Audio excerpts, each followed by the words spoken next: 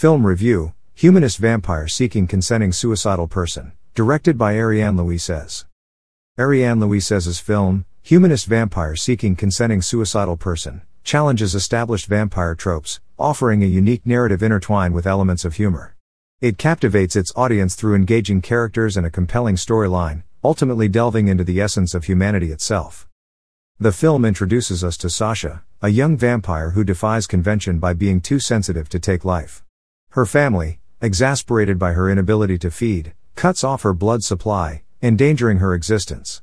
However, fate intervenes when she encounters Paul, a lonely teenager grappling with suicidal tendencies. Paul, driven by a profound sense of despair, willingly offers his life to save Sasha's. This seemingly altruistic pact evolves into a nocturnal odyssey as they embark on a mission to fulfill Paul's final wishes before the break of dawn. From its very beginning, the film ensnares the viewer with a captivating narrative. Sasha's character is skillfully crafted, portraying a child whose heart brims with humanity, in stark contrast to the traditional vampire archetype. She forms a poignant bond with a clown, unaware that he is destined to be the family's prey. This connection with humans becomes a source of stress, anxiety, and fear for Sasha, akin to post traumatic stress disorder, PTSD, as poignantly noted by a vampire doctor within the film. Sasha's family, driven by their own agenda, compels her to cohabit with her cousin in a quest to unearth her vampire identity. However, her aversion to hunting and her preference for consuming the family's refrigerated blood supply raise unique challenges. The film redirects the audience's focus towards Paul. The similarities between Sasha and Paul appear striking, kindling the expectation of a romantic entanglement. Sasha's past trauma from her childhood memory of her family killing the clown, Rico the rooster, prevents her from harming humans, while Paul, deeply marginalized by society, grapples with a profound lack of self worth and a yearning for death. Sasha contemplates suicide as an alternative to killing humans and believes that Paul's willingness to die willingly enables her to take his life with his consent, thus laying the foundation for their unusual relationship. However, humanist vampire seeking consenting suicidal person is not a narrative simply driven by Sasha's pursuit to kill Paul. Rather, it unfolds as a profound journey of self discovery and redemption.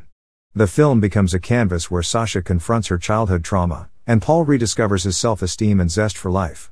Together, they learn the art of compassion and self sacrifice, exemplified in a poignant scene where Paul offers his own blood to satiate Sasha's hunger. In a climactic turn, Paul requests Sasha to transform him into a vampire, encapsulated in the film's evocative title, written creatively by Paul himself, Humanist Vampire Seeking Consenting Suicidal Person.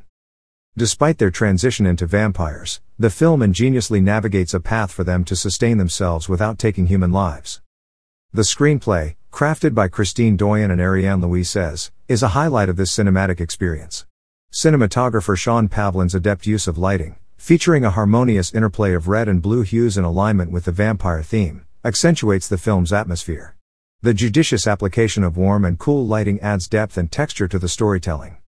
In conclusion, Humanist Vampire Seeking Consenting Suicidal Person is a thought provoking and refreshing take on the vampire genre.